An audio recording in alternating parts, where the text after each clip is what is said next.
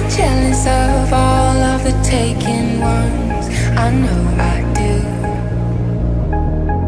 I've been loving me for so long. I want somebody to hold on to.